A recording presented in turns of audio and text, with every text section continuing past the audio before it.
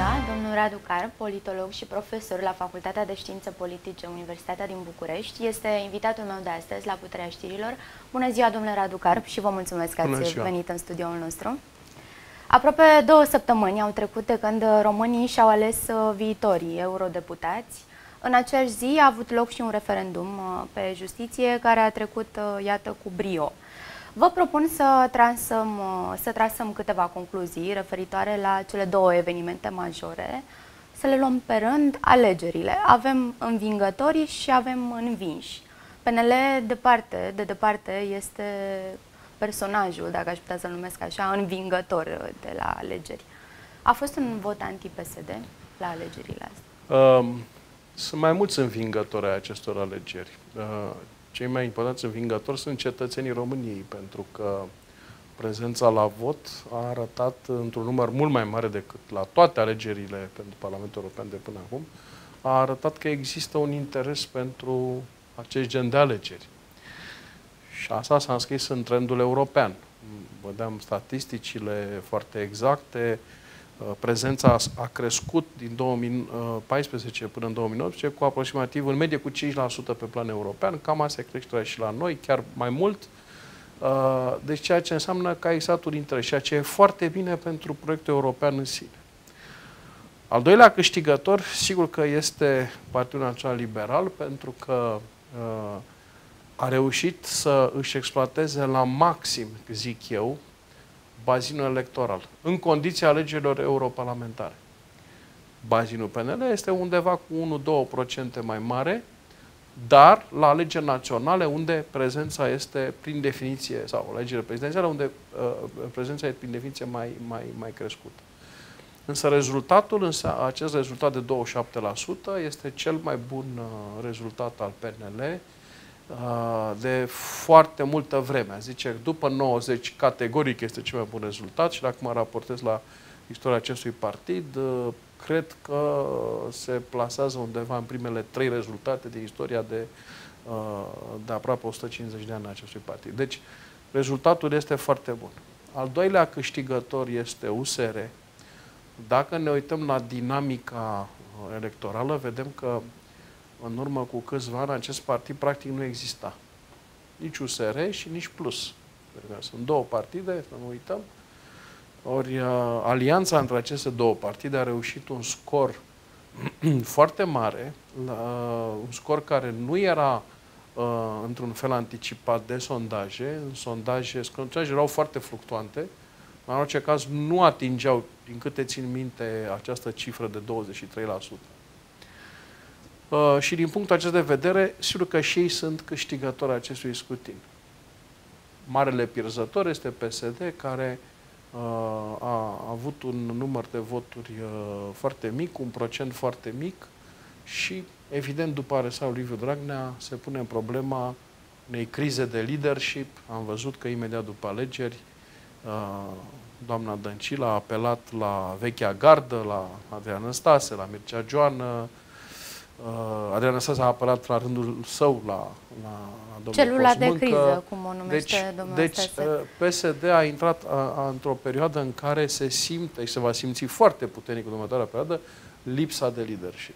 Dar să nu uităm și de ALDE, care nu a atins Marele pierzător al acestei alegeri, de lângă PSD, este ALDE, care sconta în mod categoric pe cel puțin trei locuri Așa au fost făcute calcule în acest partid, așa au fost și repartizate locurile. Daniel Barbu, de exemplu, a renunțat la autoritatea electorală permanentă pentru că era absolut sigur că va căpăta acel mandat în Parlamentul European. Altfel n-ar fi intrat în cursă, sunt, sunt absolut convins. Deci exista o așteptare categorică la nivelul ALDE pentru un rezultat uh, undeva la 7, 8, 10%. Da, în toate sondajele, până la alegeri, uh, ei aveau chiar uh, peste 6-7%. Cum justificați diferența aceasta între sondaje și Sincer, iată, votul... eu mă așteptam, pentru că a fost un vot foarte polarizat. Uh, suprapunerea referendumului peste aceste alegeri a făcut ca votul să fie extrem de polarizat. Alte ar fi căpătat acest uh, procent, onorabil, da? 7-8%, să spunem, în condițiile în care toate opțiunile au fost valorizate, în condițiile în care n-ar fi fost o asemenea tensiune în timpul campaniei electorale. Ori noi, în timpul campaniei electorale, ce am văzut? Am văzut că au fost mai multe mitinguri ale PSD, la care au fost, uh, au fost foarte violente, în sensul că au generat tensiuni. Sigur, nu au fost victime, Doamne ferește, dar au fost, au fost manifestări foarte, foarte dure. Uh, și atunci, evident că nu a mai fost loc de alte în peisaj. Nu s-a mai spus, de exemplu, uh, despre uh, inițiativele alte, nu s-a spus despre întâlnirile cu alegătorii, nici nu au fost. Uh, sigur că liderii lor au fost și candidații au fost prezenți în media, dar nu au avut un eveniment uh, pe măsura evenimentelor negative generate de PSD. Nu au avut un eveniment nici negativ, nici pozitiv în timpul campaniei electorale și asta a făcut să existe convingerea că este o luptă uh, exclusiv anti și pro-PSD. Cei care ar fi votat cu, cu ALDE uh, ori nu s-au prezentat la vot, ori uh, datorită prezenței foarte mari s-a, s-a întâmplat ca numărul de voturi pentru ALDE să fie determinat. Adică dacă prezența ar fi fost cu mult mai mică, probabil ALDE ar fi intrat în Parlamentul European. Aici, sigur, ă, asta nu înseamnă că ă, ei nu au o vină. Nu. Vina lor este a, a faptului că s-au plasat o turnantă care nu duce nicăieri. Nu poți să susții că ești alături de Uh, de PSD și de Liviu Dragnea și în același timp să susții și că ești un partid cu adevărat liberal. De altfel, ei au avut probleme cu, cu alte, uh, cei din ALDE, domnul Verhofstadt, uh, așa anunțat că exclude, domnul Tăricianu s-a retras imediat după alegeri, a luat inițiativa pentru care a fost un moment penibil să fie exclus. Deci, ALDE are o problemă de raportare identitară. ALDE a rezistat la guvernare, cât timp a fost la guvernare și a putut să asigure uh, anumite sinecuri pentru simpatizanții săi, pentru membrii săi.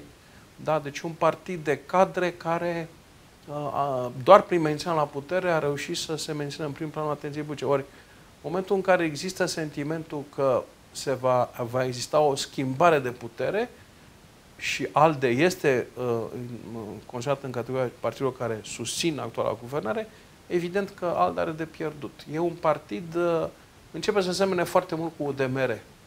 Este un partid care ar putea dispărea în următoarea perioadă de pe scena politică?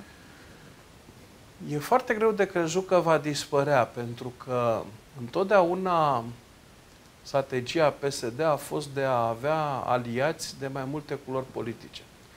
Uh, Liviu Dragnea a perfecționat uh, acest uh, comportament a ținut neapărat să spună că este însoțit și de autentici liberali, dar și de, uh, spunea el, ne aducem aminte, de țărăniști, prin cooptarea lui Aurelian Pavelescu, mă rog, care a transmitit anumite mesaje. Și eu cred că la nivelul PSD la ora actuală, în continuare se crede că e o strategie uh, câștigătoare. Părerea mea este că nu aceasta este strategia câștigătoare. Citeam recent uh, Uh, un comentariu referitor la alegerile pentru Parlamentul European din Franța și rog, o încercare de a vedea de ce republicanii au pierdut atât de mult. Și în mare parte raționamentul se poate aplica și la ALDE. Autorul acelui comentariu spunea au pierdut foarte mult pentru că nu au început de la un nucleu de bază cu un anumit discurs și încercând să extindă area de acoperire a discursului după ce a fost identificat nucleul fundamental și spunea autorul acelui articol, așa a procedat Mitterrand când a aprobat conducerea socialiștilor, a încercat să aibă un discurs simplu pentru nucleul de bază al partidului, ca să strângă unit acest nucleu și aceștia, la rândul lor, uh, cum să spun, ca în, au reflectat în oglindă discursul și către ceilalți membri și către publicul larg. Ori aici ALDE uh, a procedat, uh, cum au procedat și republicanii Uh, francezi și de aceea au avut un scor uh, destul de, destul de slab. În sensul că nu era clar cui se adresează. Nu era clar cui se adresează. Cred că ar fi foarte interesant de făcut uh, un, uh, un uh, sondaj, un, uh, un studiu sociologic. De exemplu, cei care au votat pentru ALDE la legile parlamentare, uh, din 2016 cu cine au votat în 2019 și vom avea surprize. Sunt convins că uh, foarte mulți dintre votanții în 2016 au migrat ori la PSD, ori la PNL. Rămâne de văzut. Partidul Social Democrat, acum după plecarea lui Liviu Dragnea, încarcerarea lui, uh, are șanse să își revină? Credeți că va fi pe un trend ascendent? Cred că Partidul Social Democrat e un adversar de temut pentru orice partid politic în România în momentul de față. De ce? Pentru că chiar dacă trece printr-o criză majoră în momentul de față, și aș spune eu că e o criză identitară, uh, ei s-au îndepărtat, toată cu Liviu Dragnea, ei s-au îndepărtat de la valorile stângii și acum trebuie să se readapteze. Asta e, asta e un pariu enorm pentru PSD, pentru viitorul uh, Parlamentului European care va începe, pentru că vor trebui să se reapropie de uh, domnul Timmermans, de exemplu. Domnul Dragnea ne spunea că Timmermans este, va, va pierde alegerile. Or s-a întâmplat exact contrariu. Timmermans l-a câștigat în Olanda și uh, Liviu Dragnea l-a pierdut în România. Uh, ori ei vor, vor încerca să se apropie cumva de acest uh, nucleu de stânga din Europa, pentru a nu fi dați afară. Am văzut că doamna Dăncilă acum este dispusă să facă orice concesii pe linia Deja statului de drept, uh, justiție, absolut tot ce. Cred că dacă îi se cere în momentul de față să abroge în totalitate codul penal, o face. Uh, deci, în momentul de față, ei încearcă cu disperare această apropiere față de, față de stânga europeană, față de domnul Timmermans, care, foarte interesant, în campania pentru, la, pentru Parlamentul European, pe care cei de la PS n-au urmărit-o, pentru că erau foarte preocupați cum să contracareze mesajele la adresa lui Liviu Dragnea, în campania sa el a încercat să atragă să preia și temele ecologiste sau temele, să spunem, uh, stângii mai îndepărtat, mai extreme, mai comuniste, da? pentru a capta cât mai mult electorat. O lucru ăsta nu s-a întâmplat în cazul PSD. Și operațiunea asta de adaptare la nou discurs din Parlamentul European va fi foarte grea, va fi extrem de dificilă. Uh, ori noi ce ved, asta, asta va fi un, un, un efort uriaș pe care PSD va trebui să-l depună. În al doilea rând, am văzut că PSD s-a regrupat, a avut această propunere cu uh, uh președinții de Consiliul Județene care să fie aleși prin, prin vot direct. Am văzut că vor în continuare, insistă foarte mult pe acest cod administrativ, deci uh, și probabil va, vor da o donanță de urgență privind uh, uh, adoptarea acestui cod. Deci, mai mult ca sigur, PSD se va plia pe aleșii locali, doamna Dăncilă și conducerea centrală vor încerca să intre și mai mult în grațiile aleșilor local, vor fi dispuși la orice fel de concesie, ca aceștia să nu migreze la alte partide, Important sau, să, sau să nu se implice deloc, pentru că și asta da. poate fi o variantă. Sunt foarte importanți aleșii locali la alegeri, ei aduc voturile de obicei. Și am văzut că strategia asta din mers uh, uh, funcționează. Deci, repet, PSD este, a fost și este și va fi un adversar redutabil, are o capacitate uh, foarte mare de a se redresa chiar după dezastre electorale. Am văzut, de exemplu, atunci când era domnul Joană, când a pierdut alegerile, uh, sau domnul Ponta când a pierdut alegerile, în câteva luni uh, uh, partidul s-a redresat, a ales o altă conducere, a revenit, pentru că e o mașinărie, e o mașinărie de vot. Uh, acum e mai dificil, pentru că e și provocarea pro-România. Am văzut că domnul Ponta a spus că nu va reveni niciun caz în PSD, ceea ce creează o problemă majoră pentru, pentru, pentru PSD. Va fi foarte interesant unde se vor afilia deputații europene ai Pro-România.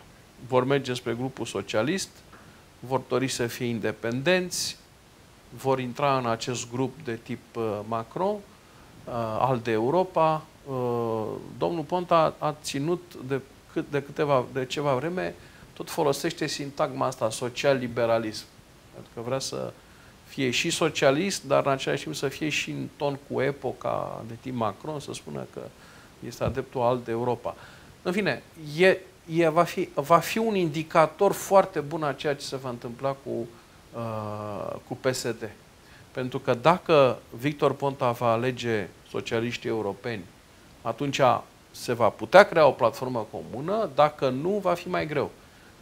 Deocamdată am văzut însă că la votul din, uh, din cameră, referitor la schimbarea, mă rog, la alegerea unui nou președinte al Camerei, uh, Pro-România a votat alături de PSD. Deci, nu știm încotro se va îndrepta acest uh, partid, care, iată, are și doi deputați europeni, are un număr destul de important de parlamentari, deocamdată nu este Încă clar. racolează, am văzut că ieri chiar un deputat de la PSD a trecut la Pro-România. Uh, nu-mi dau seama dacă cuvântul aracola este cel mai potrivit. Cred că sunt persoane care, uh, care în momentul de față, care, au, care pleacă la Pro-România, pentru că simt de gringolada din PSD, repet, care e o chestie momentană, dar o trebuie să mai treacă câteva luni, și atunci încearcă o cale de scăpare individuală. Nu cred că gestul acelui deputat nu era expresia unei grupări care, să spunem, uh, periodic să trimită uh, membrii la, noi membrii la Pro-România, cred că pur și simplu era vorba de interese locale foarte puternice uh, și de uh, dezamăgiri privind uh, modul de funcționare al PSD. Acum, referitor la Partidul Național Liberal, despre care am spus că este de departe un învingător la alegeri, ar putea fi Rareș Bogdan un viitor lider al PNL sau, de ce nu, premier? Un prim-ministru?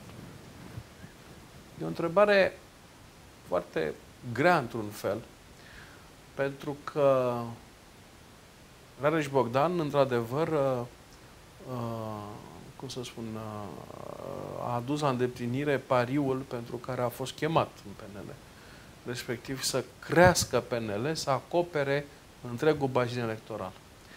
Sunt absolut convins că o mare parte din procentele PNL se datorează lui, în sensul că a fost o prezență extrem de activă în toată țara, au fost oameni care au venit special să-l vadă pe Alex Bogdan, chiar dacă nu simpatizau cu PNL. Și mulți tineri, din ce am văzut noi. Da, foarte mulți tineri uh, care au apreciat acest discurs simplu, uh, în care uh, unul și unul fac doi în care Rareș Bogdan a avut un discurs extrem de simplu, jos PSD, din toate mijloacele.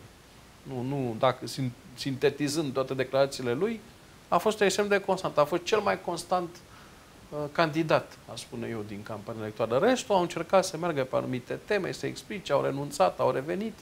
Rareș Bogdan a fost constant. Uh, deci, în mod categoric, el este o achiziție foarte bună pentru PNL.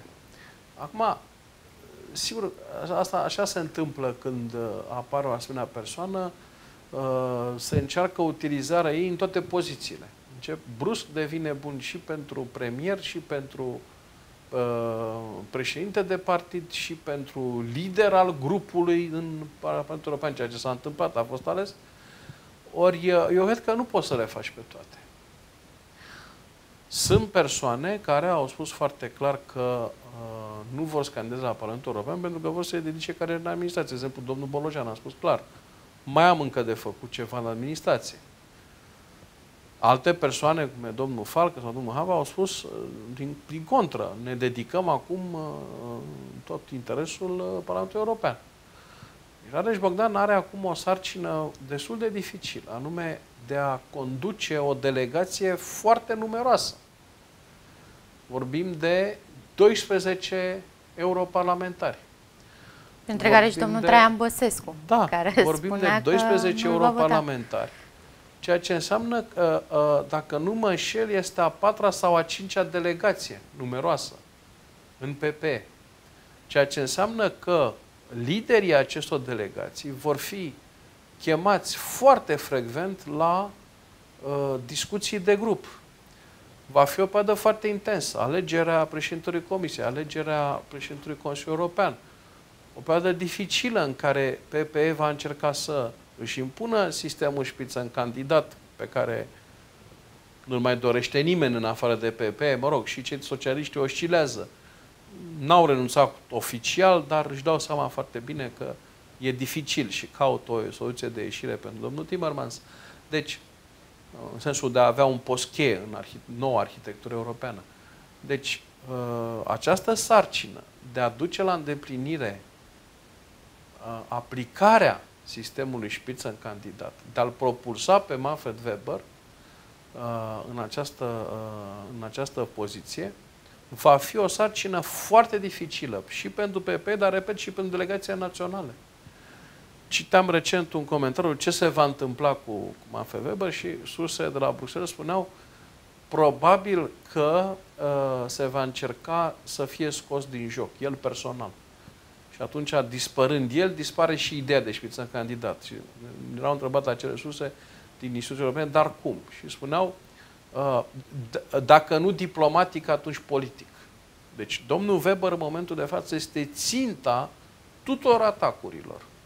Din partea Franței, din partea uh, premierilor din Spania, din Portugalia, din Olanda, din Belgia, caută o modalitate de a-l scoate din joc pentru a nu se aplica semnul respectiv. Ce înseamnă a-l scoate din joc? Nu înseamnă a publica nu știu ce dovezi compromițătoare, nu. Ci uh, uh, se încearcă în momentul de față profilarea unui alt candidat mult mai bun, mult mai interesant, mult mai vizibil. E, cei de la PP vor trebui să se adapteze acestui ritm foarte alert de uh, uh candidaturi, da? Și uh, să aibă o poziție clară. Și Rareș Bogdan va avea un rol cheie, chiar dacă vrea sau nu să aibă acest rol, și a asumat poziția de uh, uh lider a acestui grup al deputaților români în Parlamentul European, din partea PP, și va, va, va fi chemat. El, ați văzut, în timpul campaniei se plângea că era chemat la șapte jumate la partid ca să înceapă campania, să meargă undeva, ori să plece cu avionul în țară, ori cu autocar, ori cu mașina, ori să meargă în București la un meeting. Ei bine, Asta se va întâmpla la Bruxelles în următoarea perioadă, în următoarele luni. Nu e o sarcină care o va putea delega unei alte persoane. Eu așa văd. E o pălărie prea mare pentru Rareș Bogdan? Nu pot să spun că uh, e o pălărie prea mare, pentru că e, trebuie văzut care este profilul deputatului european în momentul de față. Profilul se apropie destul de mult de profilul lui. Adică nu mai sunt uh, deputați europeni care, să zicem, sunt la al treilea, la al patrulea mandat. Uh, sunt tot așa new entries de vârstă medie, aici Bogdan nu e nici tânăr, nici foarte în vârstă, da? Deci profilul lui e foarte apropiat de profilul altor deputați uh, și eu cred că se va adapta din mers. Acum, rămâne de văzut în ce măsură va dori să fie implicat și la nivelul comisiilor, dacă are un proiect uh, personal, politic, uh, mai mult sau mai puțin conturat, cum îl va contura. Uh, dar cred că astea sunt aspecte de detaliu. Eu cred că se va obișnui foarte repede cu, cu atmosfera de acolo. Pe final vreau să discutăm și despre un subiect pe care l-am anunțat la început, referendumul pe justiție, despre care am spus că a trecut cu brio prezență destul de mare a fost și la referendum. Ce urmează după acest referendum? Cum poate fi el aplicat? Pe mine personal m-a uimit declarația domnului Ciolacu de acum două zile, în care spunea că PSD e pregătit să pună în aplicare rezultatul referendumului.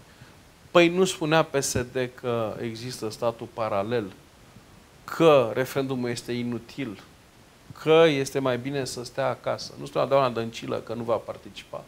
Păi, acum că a dispărut domnul Liviu Dragnea, s-a mai Brusc, și după situația. ce a dispărut domnul Dragnea, domnul Ciolacu, care a, a fost foarte apropiat de Liviu Dragnea, în toate demersurile, haideți să vedem declarațiile lui referitoare la subiectul acesta al justiției și vom vedea că nu erau foarte diferite de ceea ce spunea Liviu Dragnea.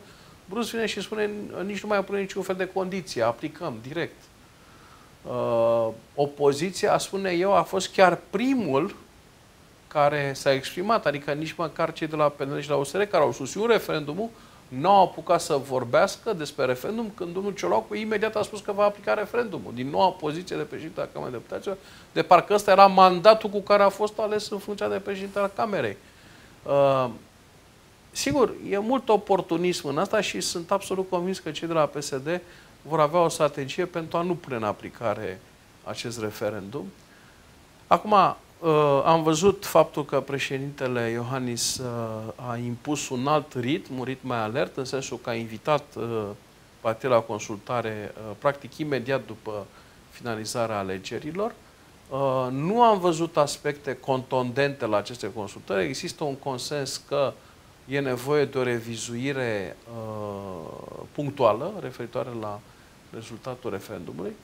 Aici, sigur că vor începe discuții pentru că trebuie să existe un proiect de revizuire. Proiectul de revizuire va fi discutat în ambele camere.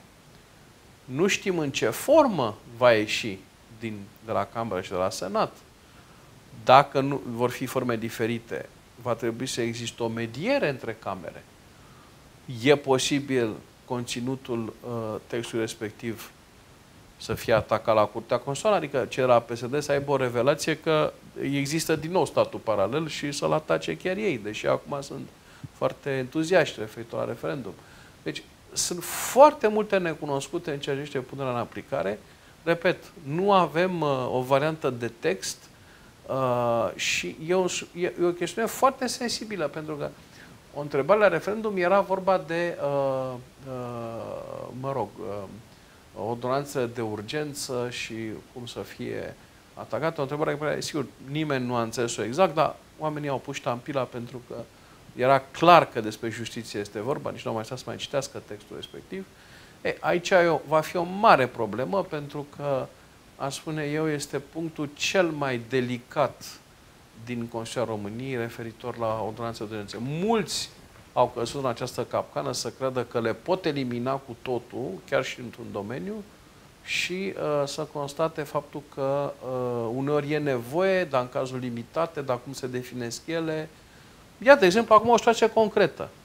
Dacă PSD uh, este de acord uh, și văd că idolii la care se închină doamna Dăncilă sunt uh, Timmermans și Juncker mai nou, da? în acest context, mă întreb dacă PSD ar da o ordonanță de urgență prin care ar abroga prevederile din legile justiției, cum ar fi privit acest gest?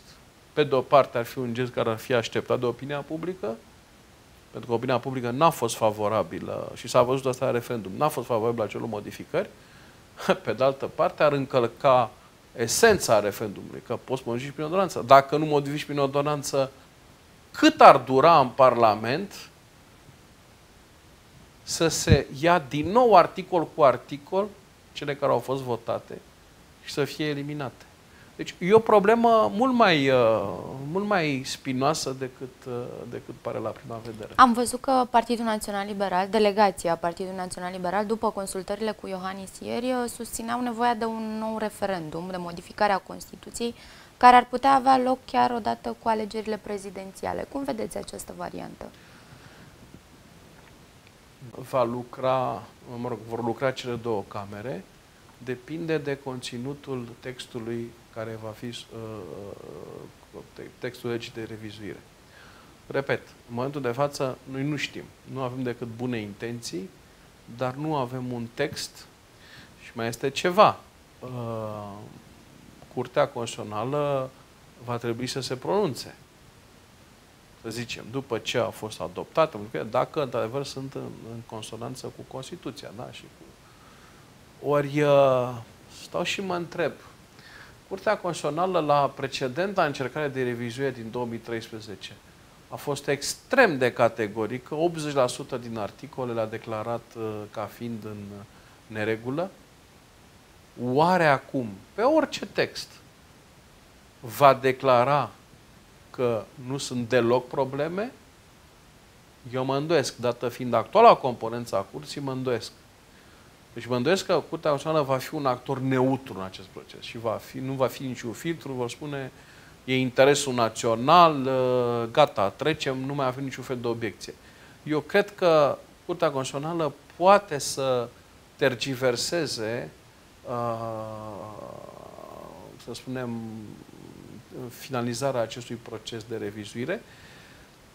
Mi-aș dori să nu se întâmple așa pentru că, cum să spun, e evident că rezultatele referendumului trebuie transpuse. A existat o mare frustrare în 2009 că nu au fost transpuse, nu au fost transpuse prevederile, mă rog, ce s-a votat la referendum și dacă s-ar genera o nouă frustrare a cetățenilor în sensul de a spune nici de data aceasta nu avem cum să, să, să modificăm uh, Constituția, cred că asta va avea efecte negative asupra întregii clase politice. Adică nimeni nu vrea să-și asume în momentul de față netranspunerea referendumului. Și asta e explicația pentru care și PSD e de acord. Dar acum, dacă s-ar organiza un nou referendum de modificare a Constituției, cum spuneam, credeți că prezența va fi la fel de mare la un nou referendum de modificare a Constituției? Sau vor spune oamenii, ok, am fost uh, primul, la primul referendum, am votat, de ce să mai merg acum pentru o modificare? E Va fi posibil, la fel mobilizarea e posibil, de mare? E posibil să apară și această problemă. Oamenii să, cetățenii să spună, am votat odată, n-ar să mai votăm a doua oară. Nu știm însă care va fi poziția PSD legat de subiectele de justiție. Cred că în momentul de față PSD e pus în fața unei alegeri imposibile.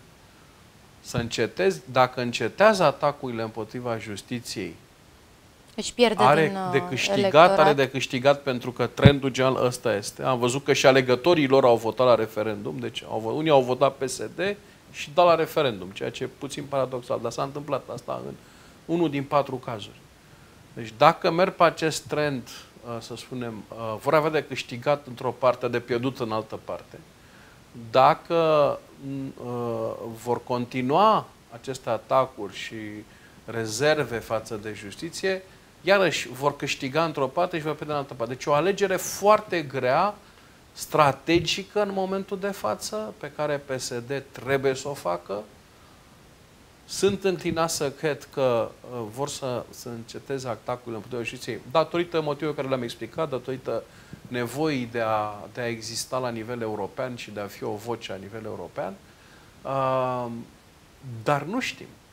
Nu în sensul că Liviu Dragnea iese din închisoare și uh, modifică din nou paradigma, dar ce s-ar întâmpla în cazul în care, să spunem, uh, alți lideri ai PSD ar fi uh, afectați de alte noi probleme în justiție, mă întreb, nu cumva această linie uh, conciliatorie față de justiție uh, ar fi abandonată? E foarte greu de spus în momentul de față. Da, de rămâne de văzut. Domnul Radu Carpu, eu vă mulțumesc pentru prezența dumneavoastră alături de noi și vă mai așteptăm uh, cu mare drag. Cu mare plăcere, sigur. Vă mulțumim.